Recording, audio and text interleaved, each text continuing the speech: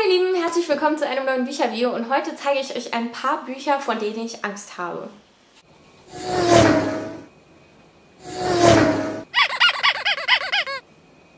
Ihr fragt euch jetzt wahrscheinlich, hä, Bücher, vor denen sie Angst hat, jetzt so Horrorbücher wie zu Halloween oder was?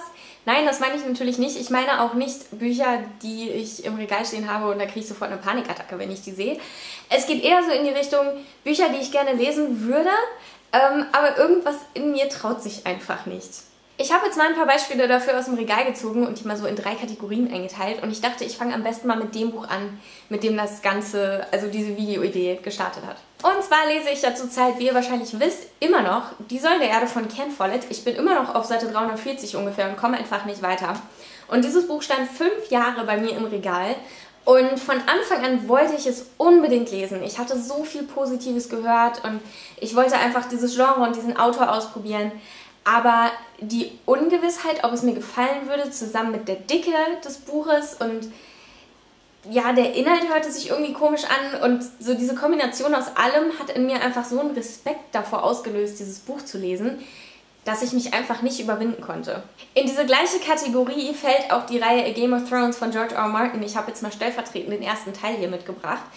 Die Bücher habe ich schon gelesen und die haben mir auch alle gut gefallen. Aber das Problem, was ich dabei hatte, war, dass die Bücher einfach so vollgestopft mit Informationen sind. Es gibt so viele Charaktere, so viele Blickwinkel, ähm, ja, so viele Zusammenhänge, die man halt erst später irgendwie bemerkt dass ich gefühlt nur ein Drittel von der Geschichte mitbekommen habe.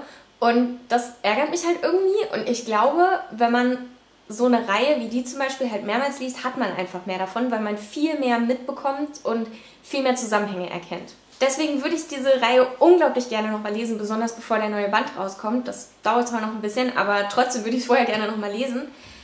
Aber ich weiß jetzt halt, wie intensiv diese Bücher sind und dass man halt wirklich sich konzentrieren muss und sich Zeit nehmen muss. Und ich weiß auch nicht, irgendwie habe ich einfach Angst, dass ich wieder nur die Hälfte davon mitbekomme und ich kann es sehr schlecht in Worte fassen, aber das hier sind also Beispiele für meine erste Kategorie von Büchern, vor denen ich Angst habe, einfach wegen der Intensität und der Dichte an Informationen, die es in diesen Büchern gibt. Die zweite Kategorie, die ich habe, geht in eine ähnliche Richtung. Hier geht es aber um Sachbücher und ich habe mal stellvertretend drei mitgebracht. Und zwar sind das The State of Africa von Martin Meredith, Dietrich Schwanes Bildung, alles, was man wissen muss. Und als letztes von Bill Bryson eine kurze Geschichte von fast allem. Und all diese Bücher interessieren mich so dermaßen und ich möchte sie unbedingt lesen. Aber ich weiß halt auch, dass da sehr viele Informationen drin sind.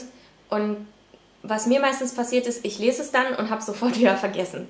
Und genau das möchte ich halt nicht. Ich will halt alles, was da drin steht, mir irgendwie merken und äh, darauf weiter aufbauen. Und ich will halt nicht meine Zeit verschwenden und Sachen lesen und danach überhaupt nicht mehr wissen, was ich gelesen habe.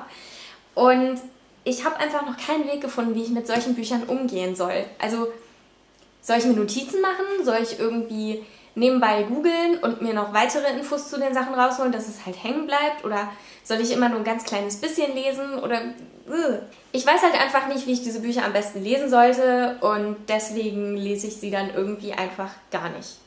Und in meiner letzten Kategorie haben wir Bücher, die ich alle schon mal gelesen habe und die ich geliebt habe und die ich jetzt gerne nochmal lesen möchte, aber mich irgendwie nicht traue. Als erstes habe ich hier die äh, Edelstein-Trilogie von Kerstin Gier. Rubinrot besitze ich leider nicht, aber sobald ich es habe, werde ich diese Reihe nochmal lesen und davor habe ich Angst. mir hat diese Reihe so gut gefallen und ich habe einfach Angst, dass wenn ich sie nochmal lese, dass sie mir vielleicht nicht mehr so gut gefällt und dann ich weiß auch nicht, ich mag das halt, die Bücher am Regal stehen zu haben und dann gucke ich sie mir gerne an oder nehme sie in die Hand und ich weiß halt, also mir bedeuten die Bücher was und die sind mir wichtig und ich weiß halt, dass die Geschichte schön war und wenn ich das jetzt nochmal lese und mir gefällt es nicht, dann verlieren die Bücher irgendwie an Bedeutung. Zwei weitere Beispiele und vielleicht sogar noch ein bisschen bessere Beispiele dafür sind einmal von Cecilia Ahern P.S. I Love You und die Wellläufer-Trilogie von Karl Mayer, die ich vor zwei oder drei Jahren gelesen habe. Und für diese Bücher gilt genau das Gleiche. Und zwar habe ich mich einfach vollkommen in die Geschichten verliebt. Ähm, ich wusste jeweils danach, dass ich alles von diesem Autor oder von dieser Autorin irgendwann in meinem Leben mal lesen muss. Und ich habe einfach noch ganz klare Erinnerungen daran, wie es mir ging, als ich die gelesen habe, wo ich war, wie ich mich gefühlt habe, äh, wie das Wetter war, was ich gegessen habe. Also Details. Und es ist halt, wenn ich die im Regal sehe oder wenn ich an die Geschichten denke oder darüber rede, dann erinnere ich mich halt daran. Und es ist halt einfach eine total schöne Erinnerung. Und wenn ich die Bücher jetzt nochmal lese, dann habe ich halt Angst, dass ich mir diese Erinnerung kaputt mache und dass ich halt nicht mehr diese ganzen positiven Assoziationen habe, sondern vielleicht denke ich mir beim zweiten Mal lesen, naja, so toll war die Geschichte jetzt auch nicht. Oder ich lese die Geschichte vielleicht gerade zu einem Zeitpunkt, wo es mir nicht so gut geht oder so und dann versaue ich mir halt irgendwie die schönen Erinnerungen.